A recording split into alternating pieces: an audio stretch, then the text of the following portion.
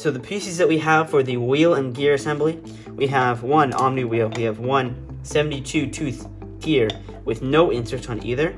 We have two 1.5 inch screws, we have two small lock nuts, we have two washers and two 3.75 inch uh, spacers, and for later we have two circle inserts.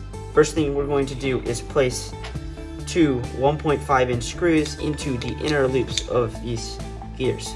Now, we're going to place the washers on to the gear. Then we're going to place the spacers onto the gear. Then we're going to place the wheel onto the gear. The inserts have not been placed on yet. Put lock nuts onto this. And take our nut driver and our screwdriver.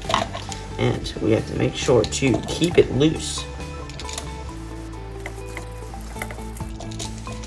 So when doing this, you tighten it all the way down and then you loosen it a little bit.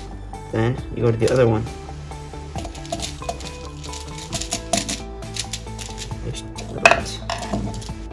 You can see here, these can still spin. Alright, now we place the inserts into the outside of this here. Make sure these are circle inserts.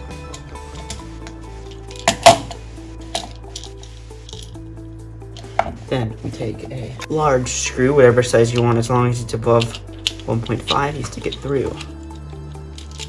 It spins. And go back to tighten.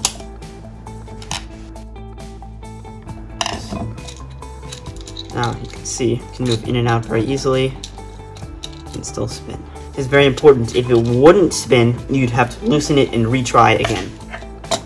That is a wheel assembly. Now you would repeat this five other times. Uh, three of these times would be with the Omni wheel. Two of the times would be with the grip wheel. All right, now back to the assembly.